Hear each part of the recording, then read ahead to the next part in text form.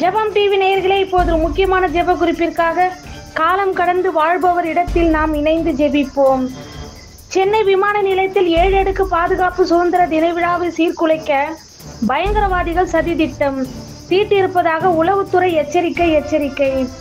ஏசாய இருபத்தி நாலு அஞ்சின்படி பயங்கரவாதிகளால் சுதந்திர தின விழாவில் எவ்வித பெரும் சேதங்களும் நிகழாமல் இருக்கவும் சுதந்திர தின விழாவை சீர்குலைக்க சதித்திட்டம் தீட்டிருக்கும் பயங்கரவாதிகள் அனைவரும் கைது செய்யப்பட்டு தண்டிக்கப்பட்டு மனம் திரும்பும்படியாகவும் தீவிரவாதத்தை தூண்டும் ஆவி நம் தேசத்தில் முற்றிலும் இருந்து ஒழிய நாம் பாரத்தோடு ஜெபிப்போம்.